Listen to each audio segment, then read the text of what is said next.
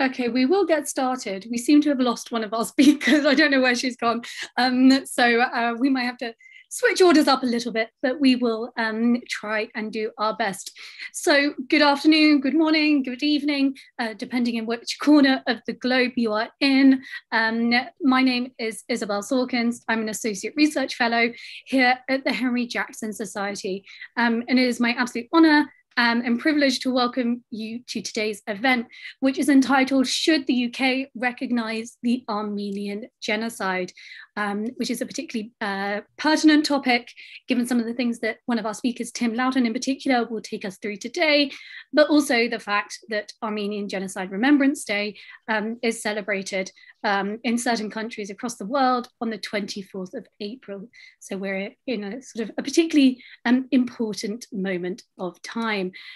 So I am honoured to be joined by four absolutely brilliant speakers today um, who will each take to the floor for around seven to 10 minutes um, to um, sort of uh, talk about specific uh, things to do with this topic. We will then open up to a question and answer from the audience. Um, so I'd like to invite you all to use the Q&A function, um, which is uh, on Zoom here, and put any questions you might have in there at any point. Don't feel like you need to sit and wait to do this. Feel free to do this even from, from the very beginning of today's conversation.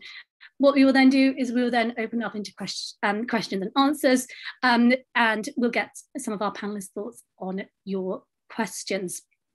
So without further, to do, uh, further ado, I'd like to introduce our first speaker.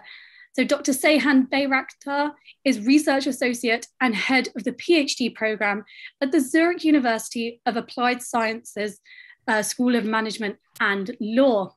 So she received her PhD in political science from the University of Constance in 2009, and her research areas include the politics of memory and apology, in particular, the denial politics of Turkey with regard to the Armenian genocide.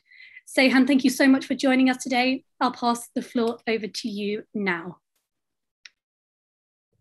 Thanks very much, Isabel. Um, thanks very much for the invitation. I'm very happy to be here with you and um, have the opportunity to share my thoughts with you. But before I start, I need to say I have major technical issues. So if the connectivity is lost somehow, I'm sorry for that in advance. I hope um, it will make the next 10 minutes um, that I will have, will have a good connection in the next 10 minutes. Sorry for that. Um, yes, as you um, introduced me already, my research area is the um, denial politics of Turkey um, with regard to the Armenian genocide. And I covered this uh, the topic um, from the 1917s until um, the early 2000s. And uh, just to give you a, a, small context of what I'm going to say about the um, topic today, um, I just want to uh, say a few words to my research on the denial. So in this time span from the 1970s onwards until the present, so to say, the genocide turned from a rather marginal and neglected topic in Turkish um, public discourse to a highly visible one. This accelerated dynamics and increase of critical remembering on the level of civil society, particularly the Kurdish political movement was influential here, is, however, accompanied by a sophisticated politics of denial by the Turkish state. Turkey managed to engage in a notable democratization process as a response to EU conditionality in the beginning of the 2000s, and at the same time to maintain its gen- genocide denial by diverting to new strategies such as signaling openness towards the Armenian Republic, preserving cultural artifacts, and so on. So that's the context of, of my talk today. So that's a bigger context of um, the, the denial politics of Turkey. Um, in the context of today's main question, should the UK recognize the Armenian genocide? I want to talk about mainly what lagging behind in recognizing the Armenian genocide meant historically and what kind of consequences non recognition had, had and still has for the Armenians and other minorities in contemporary Turkey. Since it is no news that the Armenian genocide has been ignored, neglected, and denied by Turkey ever since its foundation in 1923. Turkey, however, was in good company. The international community, too, was silent about the genocide for decades, although it had firsthand and abundant knowledge about the destruction of the Armenians during World War I. On May on 24 May uh, 1915, the Entente made a joint declaration in which they announced to punish, I quote, all members of the Ottoman government and those of their agents who are implicated in the crimes against humanity and civilization, end quote. Legal proceedings by international tribunals under the League of Nations were also part of the planned punishment. However, with the successful nationalist resistance movement of the Kemalists in Anatolia, these plans came to a halt in 1923. Uh, in contrast to the peace treaty of Sèvres, the Treaty of Lausanne, the founding document of modern Turkey, does not raise the issue of the mass killings of the Armenians anymore, let alone the issue of restor- restoring justice. The British Empire did not insist on the setup of international trials nor on making the perpetrators accountable for crimes against humanity. This reluctance of the international community to follow through and punish the perpetrators as promised had long-time effects on Turkey's stance towards the Armenian genocide. Letting the perpetrators go, despite abundant knowledge and contrary to expressed views, effectively, so goes my argument, enables the denial politics of Turkey in the following decades. The founders of the Republic, who consisted of the same young Turkish elites responsible for the genocide, could even continue with their anti Armenian and anti minority policies well into the Republic, as historians like Liana Ekmekçioğlu and Talin Suciyan uh, recently documented. Non Turks and non Muslims, along with Armenians, Jews, and Greeks, this very much includes the Alevis and the uh, Kurds, have been perceived as a threat to the Turkish nation so that forced displacement, assimilation, dispossession, mass killing became a recurring pattern in the history of the Turkish Republic without any or very rarely having judicial consequences. Given the awareness about the genocide at the time, the fact that it fell into oblivion in international relations and turned to the forgotten genocide is not only highly striking, but it rather shows how successful the Turkish state's denial politics have been. Using its ge- geostrategic importance as an important NATO ally and the complicity of the international community by being silent, Turkey was also able to prevent formal genocide acknowledgement for most of the 20th century. It was only due to re- the relentless memory work of Armenian survivors and successive generations, their search for justice and struggle against forgetting, that we talk about the genocide of 1915 today. In the last 20 years, historical research on the genocide has well advanced beyond the question whether 1915 constitutes genocide or no, not. In the UK, there is also an active Armenian community. Ara Sarafian, for example, the, uh, the, founder of the Gomidas Institute in London, edited the blue book by Bryce and Toynbee, or Susi Kasparian, these are the names that I know, on, the, on working on diaspora topics. So that is all the more surprising, to put it mildly, that we have no Armenian representation today here amongst us. Um, by the 100th anniversary of the genocide in 2015, the quest of the Armenian community for recognition reached a peak. So we had a great international awareness about it, a massive rally, rallies worldwide were accompanied by numerous formal acknowledgement by heads of states, parliaments, and, and, and outstanding public authorities like Pope Francis, acknowledging the destruction of the Armenians as genocide. And also, a remarkable number of Armenian descendants choose to commemorate the genocide in Turkey together with civil society activists from Turkey, which shows that Armenian Turkish relations on this level have, have also advanced. Particular progress towards reconciliation have been made in today's Turk Kurdish regions and by Kurdish actors. Um, in the Kurdish region, regions and formerly Western Armenia, where the genocide actually uh, took place, Kurdish political actors have been very active in, in reconciliation efforts, um, restoring cultural artifacts, reaching out to the Armenian diaspora, um, inviting them, and recognizing the Armenian genocide.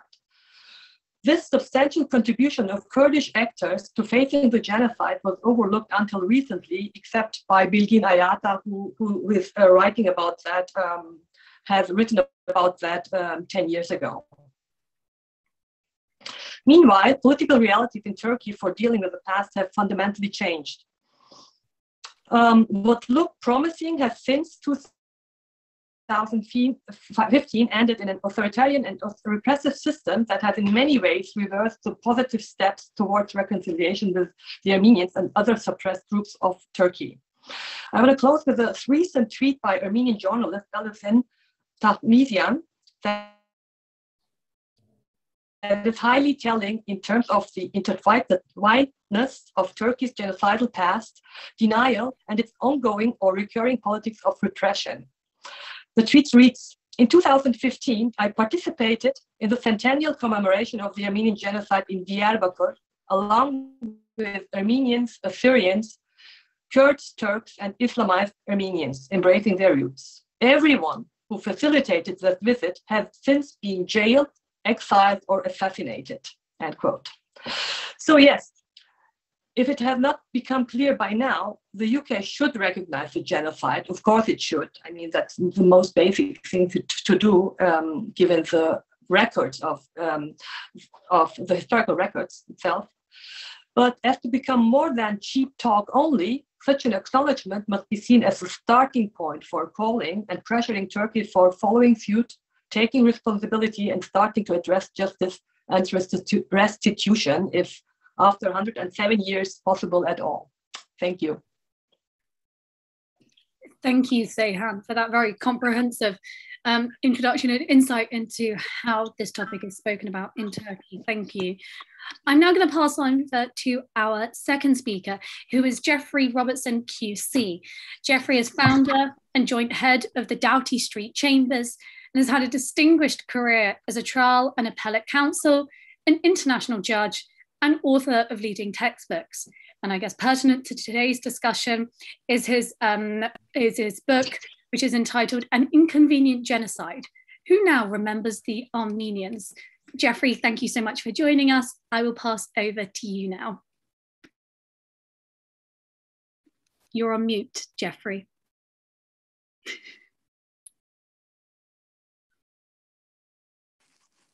Right. Let me start by apologizing for being a lawyer. And I want to remind you what genocide actually means. It means in the convention, which signed, ratified by Ronald Reagan, so it's an important convention. America doesn't sign all that many.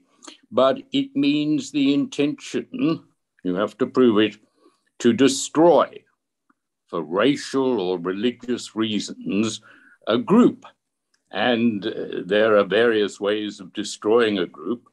One of them in the convention is killing, of course, and the other is deliberately inflicting on the group conditions of life calculated to bring about its physical destruction in a whole or part. And that is precisely what the Ottomans did to the Armenians in 1915. That is beyond any reasonable doubt. And that is why the definition of genocide, which came into the convention in 1948, is applicable to the behavior of the Ottomans. But genocide is a word that's bandied about very loosely. President uh, Biden said yesterday that it was being committed in Ukraine. It wasn't.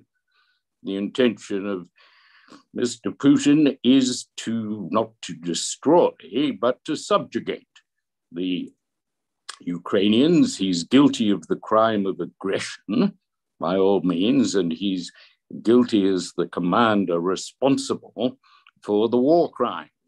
But uh, he's not guilty of genocide. I don't think that China is guilty of genocide in relation to the Uyghurs. It's not destroying them, it is persecuting them, and that too is a crime.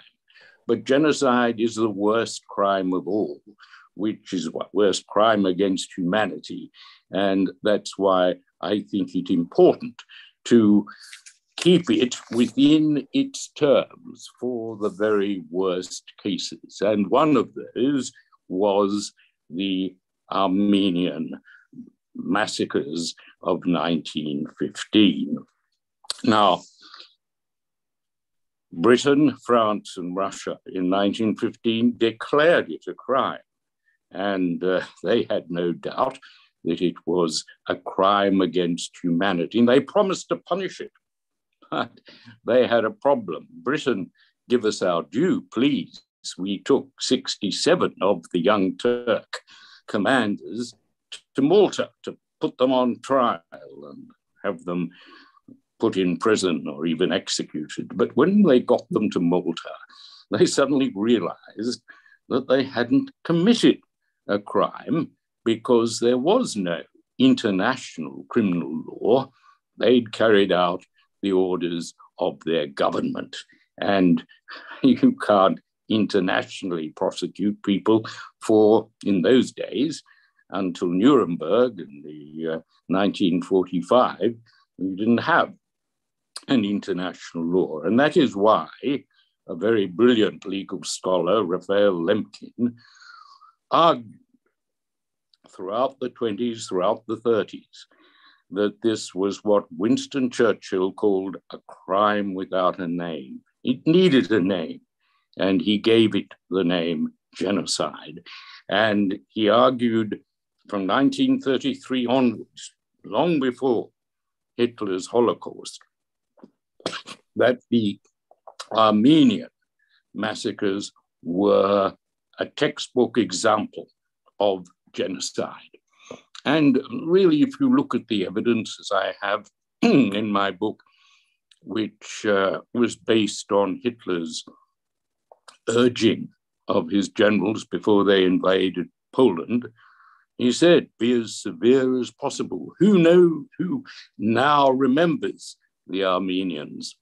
Well, we know now, and we get more evidence every year that what happened in 1915, lead up of the vilification of Armenians as subhumans, as microbes, cancerous microbes and cockroaches, and uh, the seizure of their homes to make way for Turkish soldiers returned from Eastern European defeats and then seizing their property, setting up liquidation commissions to liquidate all Armenian companies, and then sending them on death marches to uh, through the desert to Aleppo and other places.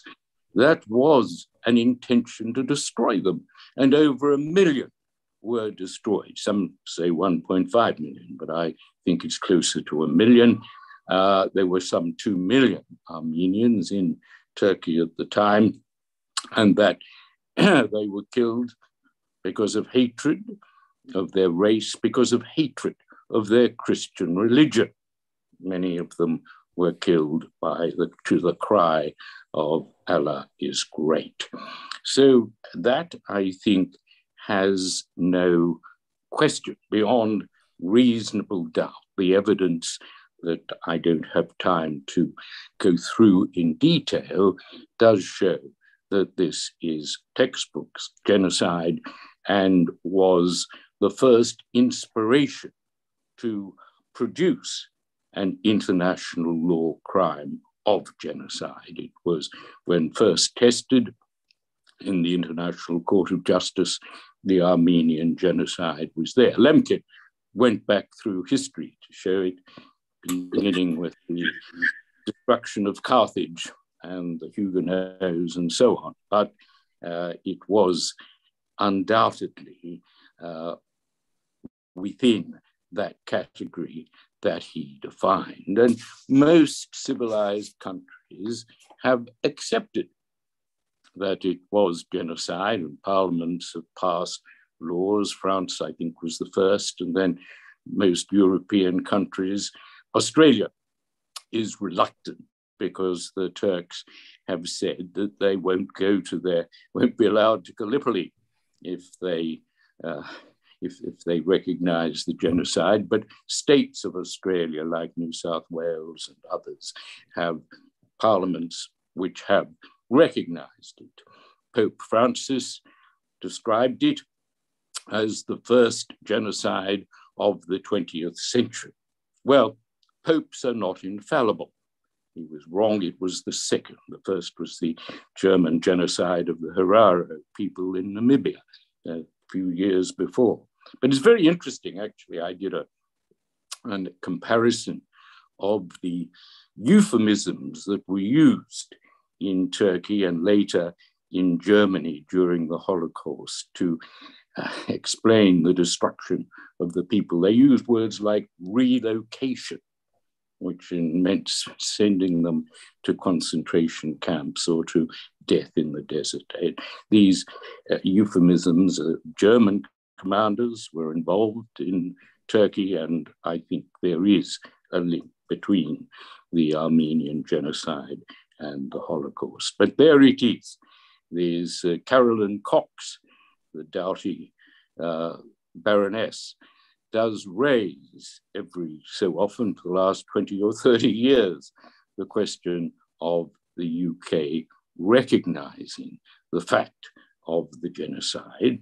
And for many years, it was there was a stock response throughout Labour ministers. They all said the evidence is not sufficiently unequivocal. And that was an oxymoron anyway. You can't be a little bit unequivocal. But that was the pretext that British government used. But in um, searching under the Freedom of Information Act for my book, I found the real reason that had been supplied by the Foreign Office to ministers for support this disingenuous response. Let me read it to you. It said, Turkey is neuralgic about the charge of genocide. Neuralgic is a good word. It absolutely describes the way it reacts when anyone suggests that the Ottoman Empire, which was preceded Turkey, was responsible. But here is what they advised the ministers. Her Majesty's government is open to criticism in terms of the ethical dimension, being unethical in denying the truth. But given the importance of our relations, political, strategic, and commercial, with Turkey, the current line is the only feasible option. So there it is, constantly giving this ludicrous formula for not recognizing the genocide was inconvenient because of Turkey. Well, why now? Why should we not recognize the genocide? Firstly, because it's the truth. That's a very simple reason for recognizing it. Secondly, because if you look at the neuralgic responses by Turkey, you will see that they're quite short term. They don't uh, last very long. President Obama promised in his campaign that he would recognize the genocide. And when he put to it, given the importance of Turkey, he just called it in the Armenian language, Medz Yeghern, the great tragedy. He wouldn't use the word, the G word. And that, of course, invokes the Genocide Convention, the right to, the duty to intervene. So there again, you had inconvenience. Well, I think the time has come to tell the truth, and that Turkish reaction, childish and neuralgic as it's been, uh, will be short term. The other reason that I think is important is that I discovered that this effort by the Foreign Office, helped by a character in government called Keith Vaz, uh, was used to discourage any recognition of the genocide. For example, on Britain's Holocaust Day, Foreign Office was very anxious that it should not be referred to on Holocaust Day, very anxious that ministers of all governments should not attend Armenian uh, functions. And I think this is so petty and demeaning and unpleasant that it's really a shameful approach. And I hope that acknowledging the genocide would be Uh, would, would serve the Armenian community with proper dignity and allow British people to bring them in as sufferers of from the great international crimes. But now there's another reason, and it's something we've seen for the last two months on our screens. It's the barbaric behavior of Russia in Ukraine. And I think if this is going to be a turning point, if it is going to be uh, a lesson to governments about their future conduct, it's time that they really did do the right thing rather than the convenient thing. And the right thing, it seems to me, is to acknowledge the truth of the Armenian genocide as part of uh, a world order that survives and hopefully prospers after this horrific experience.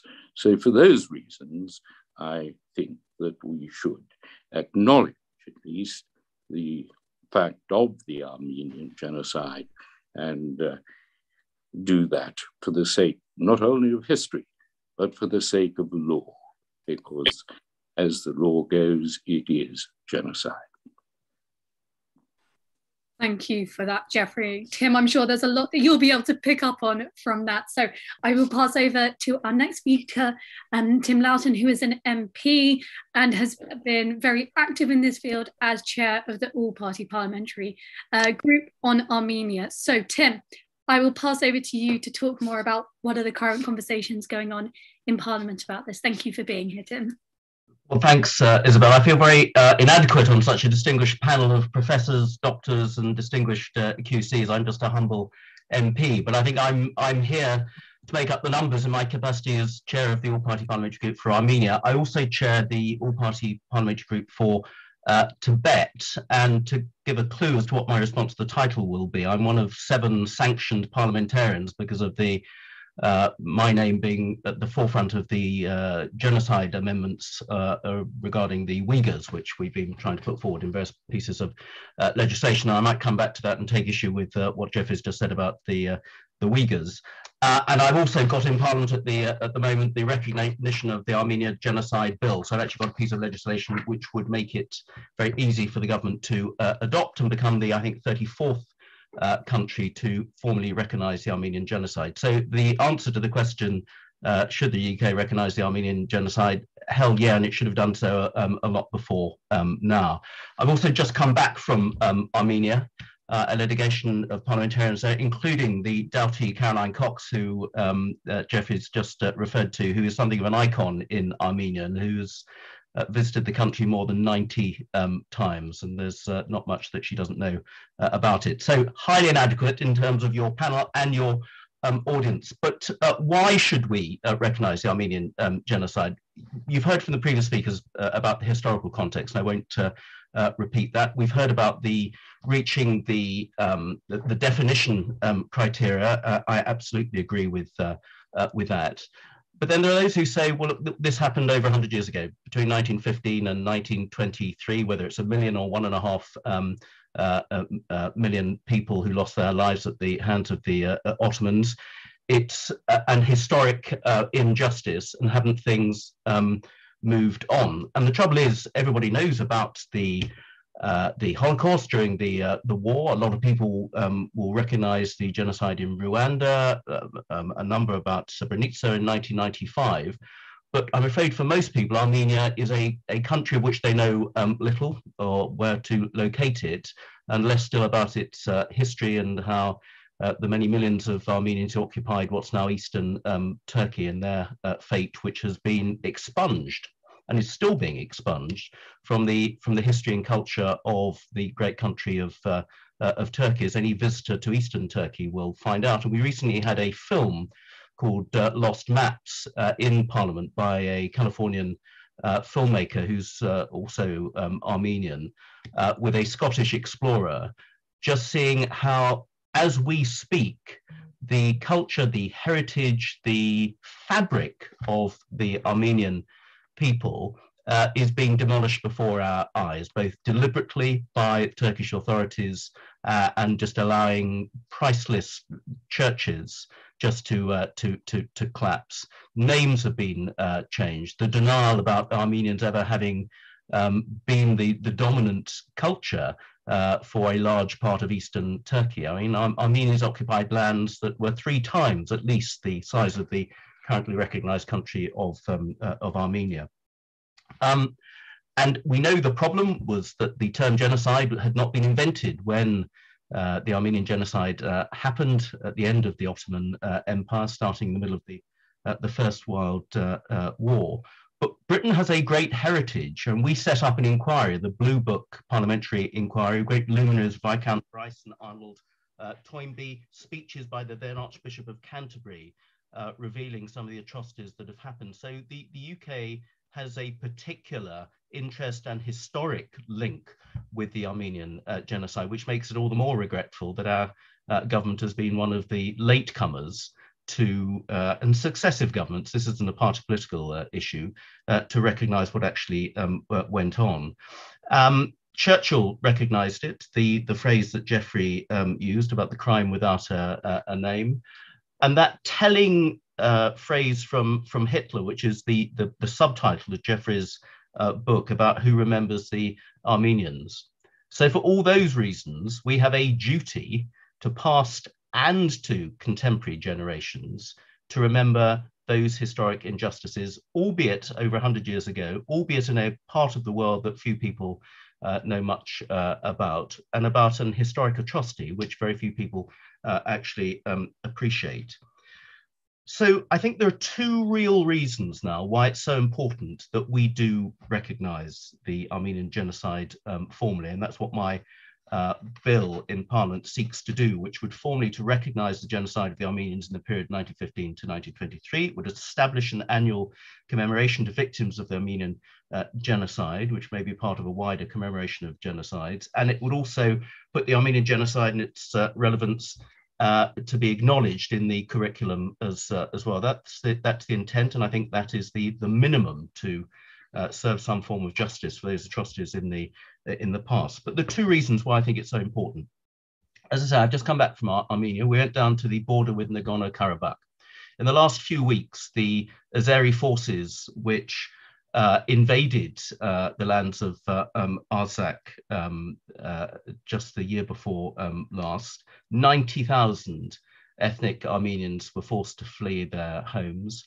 Many aspects of Armenian culture have been destroyed. Churches, we've seen in Nakhchivan, which is the Azeri controlled uh, enclave on the Turkish border, virtually all traces of Armenian heritage, be it the Armenian crosses and churches, have been completely expunged from those, um, from those uh, territories.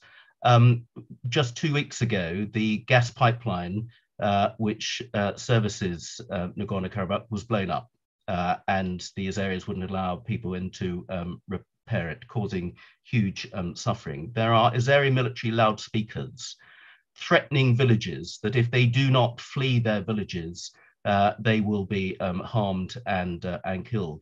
These are chilling, violent, aggressive tactics happening now. And not surprisingly, the Armenian people, and particularly those Armenians who live in the lands of Nagorno Karabakh, are feeling um, neglected and very um, vulnerable. And if the world can't even recognize a very clear, historically documented, internationally recognized in at least 33 countries um, genocide that happened over 100 years uh, ago to the ancestors of those same Armenian um, people, then they are entirely justified in feeling very vulnerable uh, that they are at risk of having their culture and their lives taken away from them, just as the Ottomans did uh, over 100 um, years ago. So I think it's really important that we acknowledge what's happened in the, uh, in the past uh, in order to reinforce um, the position of the Armenian people that the world does care and that there is somebody who will come to their rescue if this sort of behavior goes on from in the future from the Azeris who are very close to the Turks, as we know. And the second reason, and why I take issue with Geoffrey on this, uh, as the Uyghur tribunals by Geoffrey's um, uh, great colleague, uh, Geoffrey Nice uh, QC, uh, gave judgments in the independent tribunals uh, back in December, the Chinese government have waged genocide against the Uyghur people, if, even if we take some of the definitions about the forced sterilizations that are happening to Muslim women um, there. I've been pressing that case along with many parliamentary colleagues. Parliament's voted that China has committed uh, genocide. Alas, it's not a binding vote, and the government has yet to adopt that parliamentary nudge, and I hope it will do, and I think we're making progress there. But you don't bolster the case of genocide in the contemporary world by conveniently ignoring and sidelining clear past genocides that have happened uh, in history. So whether it's applying it to the Chinese government now in Xinjiang and arguably what's been going on in, uh, in Tibet and other parts of uh, Chinese territory as well, and also potentially what the international community may need to do against Russia uh, for the uh, aggression which may well turn out to be genocide, as I uh, suspect, and, and others I think would like to see that definition um, uh, used sooner rather than, than later. And I just think it's really important that we don't try to shovel up the under the carpet an inconvenient historical injustice just because it happened so long ago in a part of the world that people know um, little about. So for all those um, those reasons, absolutely the UK needs to recognise the Armenian uh, genocide. It was important to do so 100 years um, ago. It's just as important, if not more important now, because of the the clear and powerful message it sends out to those who would still commit genocide in whatever part of the world uh, in the year 2022. Thank you for that, Tim. And it's it's empowering to hear the conversations that are going on in Parliament. And it, what you've just said ties in with um, one of the questions we've actually got from Baroness Cox, which I will turn to um, after we have our final speech from Professor Dirk Moses, who I have to say I am such a big fan of because as a Holocaust scholar, I have followed Dirk's work very, very closely um, over, over the last few years. So it is an absolute honour um, to have Professor Moses with us today. Um, so for those of you who, who are not quite quite so um, sort of clued up on, on Dirk's work. Um, professor Moses is a Frank Porter Graham Distinguished Professor of Global Human Rights History at the University of North Carolina at Chapel Hill. So, Dirk, I will pass over to you um, to give your comments on this, and then we will open up to Q and A for the audience. Thank you for being here. Thanks very much, It's terrific to be here and also on this panel with uh, these distinguished colleagues. Now, the thing about parliamentary debates is that they confine discussion to stark choices for or against the motion. Stark choices are appropriate for the political domain where decisions need to be made, policies set, laws changed. It's less appropriate in the academic domain where the complexity of situations can be studied precisely because decisions don't need to be made, because academics don't set policy and enact legislation. And some will think, well, that's, that's pretty good that it's that way. Now, as a result, we can ask different kinds of questions and hopefully advance general understanding of important issues. And that is one of the social utilities of universities. Now, given that we're not in the House of Commons, we can ask different kinds of questions. Instead of taking genocide recognition, as our motion does, for granted as a naturally occurring political phenomena, we can ask what is its political meaning and function? What are we not talking about instead? What are we not recognizing? Now, let me place on the record immediately that I do think that the Ottoman treatment of its Armenian population during the First World War qualifies as genocide, if you want to play that recognition game. In the journal I edit, the Journal of Genocide Research, we publish many articles on the subject, and we teach it as well in the course on genocide that I uh, am offering right now. And a bunch of my students are actually uh, logged into this um, to this podcast or this discussion because it coincides exactly with the 10 a.m. class here on the East Coast, the US. Now, but as a scholar, I think we can go further than engage in sort of mere categorization. Now, is it genocide? Is it not genocide? I want to know why genocide is considered the crime of crimes, the recognition of which imparts a certain consolation for descendants of victims and members of their people, on the one hand, and on the other, a stigmatic aura for the descendants of perpetrators and members of their people. What does official recognition even mean? And why is it felt to be so important? What are the rules of the recognition game, and who gets to decide who wins the game? Clues to the answer lie in history, because motions like the one before us now are usually part of an ongoing campaign, with phases stretching back decades, and with local and international precedents. Studying them can help us decide, or answer rather, our questions so we can better understand what we are doing here right now. This is what I see when zooming out in time and in space.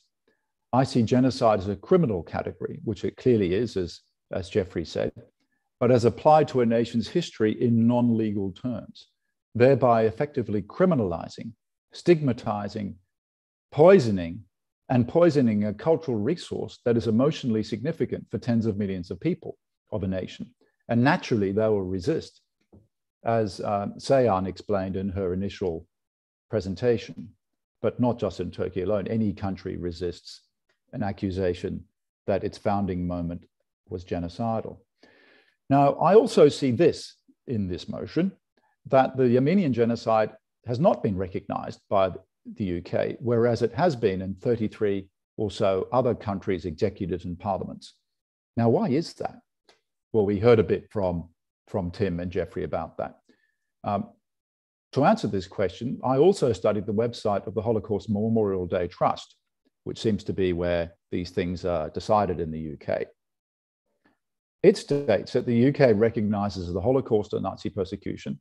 Then it skips 30 years to the Cambodian genocide in the second half of the 1970s, then to Rwanda nearly 10 years later in 94, then Bosnia in 95, and then finally to Darfur in 2003 the site does not really give an answer as to only as to why only genocide since the Holocaust are recognized. It does acknowledge, however, that there is a deeper history here, though without retrospectively applying the genocide label. So the, the website does mention, for example, atrocities committed against the Armenians in the early 20th century, sort of as a precursor. Atrocities, but not yet genocide. Somehow that only occurs since the second half of the 20th century. Of course, it makes no historical sense. For the UN Genocide Convention was passed in 1948 after the Holocaust, meaning that the retrospective logic would exclude it too. Now, anticipating this objection, the Trust says that the Holocaust shocked humanity's conscience, leading to the convention and a general consciousness of genocide as a global problem. Well, that's only partially true. The Armenian genocide did shock people at the time, as we heard from Tim, and so did the First World War as a whole, which led to an international treaty to outlaw war in 1928, and ultimately the principal indictment of the Nuremberg trials, namely crimes against peace. And you know, many people outside Europe were in constant shock about their treatment at the hands of British and Europe, other European imperial authorities. And they tried to reform the international system in the 1920s and 30s. That was called decolonization through national liberation movements. What's more, the trust's list that I mentioned before is partial even for the second half of the 20th century. What about the Nigeria Biafra civil war from 67 to 1970 and the secession of Pakistan from East Pakistan from Pakistan to found Bangladesh in 1971? And in both cases, millions of people died. And genocide was alleged at the time and in both cases, Britain backed the perpetrator government. There were big demonstrations denouncing genocide on the streets of London back then, but that seems to be all forgotten by the trust and public memory. Why is that? The Holocaust Memorial Trust said is guided by international recognition of you know which genocides get it and which don't, the rules of the game, because UN tribunals and the ICC, the International Criminal Court, have designated the five that it mentions. Well, we all know how political uh, that game is and what's recognized as shocking and what's not recognized as particularly shocking. I mean, I think of other shocking events, at least for me, like the Russian destruction of Grozny in the reconquest of Chechnya in the 90s, the Russian supported Syrian government's destruction of its own cities, the Saudi led and Western backed, including Britain, destruction of Yemeni cities, which is going on right now, but we don't have a motion before us, do we? The large scale destruction of civilian populations, let's admit it, has been a constant feature of the international system since the Second World War. Consider the millions killed by US bombing in North Korea and Vietnam in the 50s and 60s, and now the Russians in Ukraine. But this does not fit, as Geoffrey quite rightly pointed out, does not fit the very, very narrow legal category of genocide, or at least it's, it's difficult, and therefore does not quite shock the conscience of mankind, to use this antiquated phrase which we see recurring in humanitarian documents. Now, in the book I've just published, uh, The Problems of Genocide, I argued that this willful blindness is in fact not an accident. What I also see in motions like the one before us and the campaign uh, to which it's connected is that while they are understandable from the point of view of victim groups, after all, they don't get to set the rules of the game. And if genocide recognition is the ultimate prize, then they should seek that goal. Politicians and states have their own interests. This is not directed to you, Tim. I, I can see your interests are extremely sincere and admirable. But more generally, politicians have electoral constituencies to placate and you know, they want to win elections. It's no accident that there's a, a parliamentary resolution in France about the, uh, the Armenian genocide because there's a very large Armenian population there. State apparatuses are somewhat different. Foreign, foreign policy establishments guard enduring national interests, and they won't let campaigns such as this one get in the way. And the strategic relationship with Turkey has been mentioned here by Geoffrey, and that is that is elemental. This also applies, for example, to Israel, which does not recognize the Armenian genocide as well, despite the efforts of Israelis, uh, which think that their country ought to do so uh, for a range of obvious reasons. That is one reason, I think, that the rules of the recognition game in the UK are set to the pre World War II genocides being excluded, right? That way you can exclude the Armenian genocide. The other one, though, is somewhat closer to home which returns me to my key question about what we're not talking about in this motion and others like it, namely British imperial crimes. Why is there no memorial to victims of British Empire in the middle of London, like the one that's now being considered for the Holocaust? Given the intense debate underway about the racist legacy of some national heroes, about country houses built with the money generated by the slave trade, about monuments and statues honoring slave traders and imperialists, well, the reason seems pretty apparent to me. I am struck by the symmetry of the arguments used by imperial apologists in the UK, mind you, also in Australia uh, for settler colonial apologists, about British history, and Turkish apologists about Ottoman history. It's all too easy to erect monuments to genocides and crimes committed by other states. It's hard to do so for those committed by one's own. So I would propose an alternative motion that the UK recognise the Armenian genocide and genocidal crimes committed by the British Empire. Thank you. Thank you for that, Dirk. Dirk has just brought out a whole load of other questions um, into this right at the very end. Um, questions that unfortunately I don't think we're going to have time to get into that makes me think about maybe maybe maybe coming back to this conversation at some point in the future. Um so we only have about 10 minutes left for questions. So i'm just going to pick two that have stuck out to me um from the q&a so if i could ask each of you feel free to answer both of these. One of them I, I don't mind, but if you could keep your answers to about two minutes. So the first is the one that I mentioned um, from Baroness Cox, who has asked, is there a serious risk that failure to recognize the Armenian genocide will encourage further genocidal policies by Turkey and its ally Azerbaijan as they continue to enjoy impunity for war crimes, crimes against humanity, and genocidal crimes.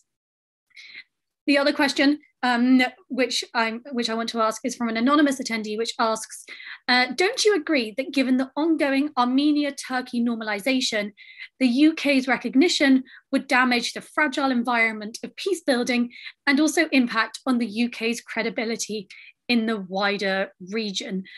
Geoffrey, I saw you smile, so I'm coming to you first to answer this. Sorry, I picked on you. You're muted as, again. Sorry, Geoffrey getting old. There we are. Uh, they're good questions, both. I don't think, to answer the latter one, that there is sufficient movement. I mean, we've seen the Azeri forces in Nagorno Karabakh. We've heard of the churches dating from 301 when they accepted Christianity. It's appalling that they have, uh, many of them have been destroyed. And looking at the uh, Azeri attitudes, there is no peace there. But that is the fault, in a way, a sad fault of the Armenians themselves for cozying up to Russia, for ex- accepting Russian protection when it sells the same arms to the Azeris and so on. It's not a guarantor of peace. And until the Armenians manage to get out of the Russian orbit, uh, there will always be uh, a problem. So I don't think, and I'm inclined to think that if the British Parliament, which is rightly or wrongly, respected in many of these quarters, actually prepares to take Turkish neuralgia on the chin and owns up to the truth, a truth that it's done a lot to produce in 1915 with Arnold Toynbee's work with the uh, attempt to punish the perpetrators of the genocide in Malta. We do have a fine history in this respect. So I'm inclined to think that it will, recognition would be a shot across the bows, if you like, of further uh, misbehavior by uh, Turkey and Azerbaijan. And it would show that, as to an extent, we are showing the world in reacting to the horrors of Ukraine, uh, it would show that we could react if the persecution in um, of Armenia goes further. I mean, the principle that crimes against humanity, particularly, of course, the worst, genocide, are unforgivable and unforgettable, would no matter how long, uh, is something that at least may trouble those who commit them in the future. And uh, I think for that reason, not alone, but uh, because there are important uh, support to the Armenian community we can Britain. But I think for that overwhelming reason, we should acknowledge the truth. Thank you, Geoffrey. Seyhan, I'm going to come to you next. Uh, feel free to take either of these questions that I've just posed.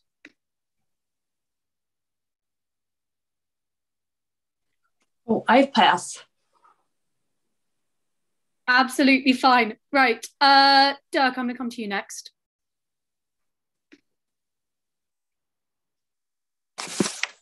Given given uh, Tim's engagement here, I think it would be more interesting to hear from Tim first. He knows a lot about. It. He's just been of there. Course, no, really, course. seriously. Yep. Yeah. Tim, please take the floor then. Well, I better not say pass in that case. Okay, so Caroline Cox is, of course, right. It's apostasy to say uh, anything uh, uh, else.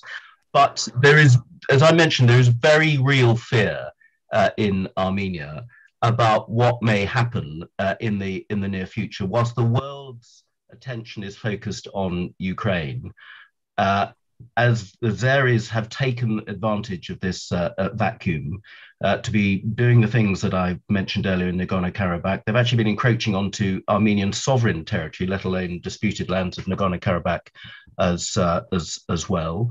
The, the Armenians, it's a really complicated and delicate situation at the moment where the Armenians are no great friends of the Russians, but the Russians are the peacekeepers in the in the area, and if they have to be withdrawn to go to Ukraine, will the Azeris teamed up with the Turks take advantage of the situation to press their advantage more into Nagorno-Karabakh and uh, uh, and and beyond? And that's why the Armenian genocide recognition is just an important sign and message to the world, but to the Armenian people that no, we haven't forgotten you. And just because you are a part of the world that people don't know much um, about what happened there 100 years ago doesn't mean it's any less important that we stand up for you.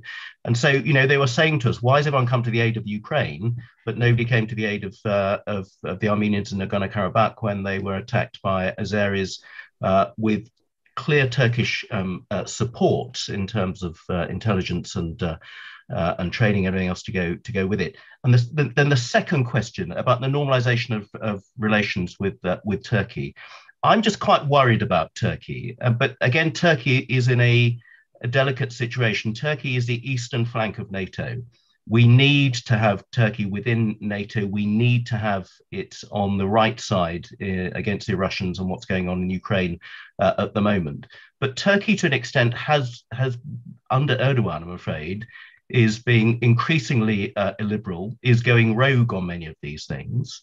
But frankly, you need to be able to talk truth to friends. And if we are to treat Turkey as an ally and a friend, as it must be and must stay within uh, uh, NATO and within the Western alliance, then we need to face some inconvenient uh, truths. And uh, recognizing something that their forefathers did 100 years uh, ago, I think it is an important part of grown up civilizations being able to do that. And for those who say that, oh, we'll be cut out of trade, and Turkey, I think, is the sixth largest trading partner of the UK, it is an important trading partner. When France recognized the Armenian genocide, that was the, uh, the fear. Trade between France and Turkey is now the highest it's ever, it's ever been. So there's some short term harumphing uh, and, and posturing uh, and snotty letters from, um, from Turkish uh, government ministers, as I've had from the Turkish uh, uh, ambassador. But in the long term, it will sort itself out, and hopefully, we can be better allies and more truthful and honest friends to each other as we need to be.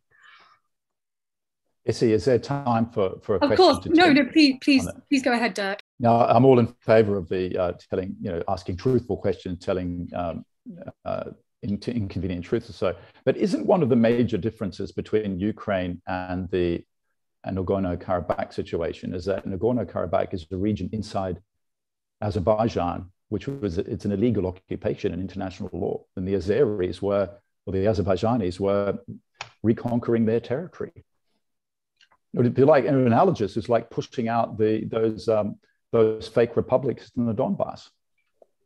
Uh, well, it's a whole seminar on its on its own, and we could be here for several hours on just uh, that one. You're, you're, right; it doesn't have international uh, recognition, but it's a much more complicated situation than that. And I'm afraid the Azeris have been encroaching into sovereign Armenian, dwindling yeah, sovereign Armenian territory illegal. as well. It should never have been given to uh, Azerbaijan by Stalin yeah. in 1922. But Geoffrey, and, that's what Putin says about Ukraine. They created this artificial state. I mean, yes, if we start well, going there, guys, it gets very messy. But Dirk, it's now achieved a degree of self-determination, I would say, and uh, so it does have a claim in law to be independent. I agree. I think Ukraine does have that claim. But uh, anyway, and as you say, we need a lot more time. Karabakh for that. It, the war of yeah. 1991 to four, it did prove its independence and vote for its independence. I think I will. I will. I will interject. You have to stop it. I understand. and, and, and, and maybe because I, I, think we could go on with these conversations for days. But thank you so much uh, to all of our panelists for an incredibly thought provoking um, conversation. I know I will be sitting there and, and, and ruminating over it um, for the rest of the day. So thank you to Seyhan, thank you to Geoffrey, Tim, and Dirk. Um, for your presentations. And thank you to our audience members, uh, those who listened, those who engaged and asked questions. Thank you for coming to this Henry Jackson Society event, and we look forward to seeing you at the next one. Have a lovely afternoon, everyone. Thank you. Bye bye. Bye. Thanks. Thank you.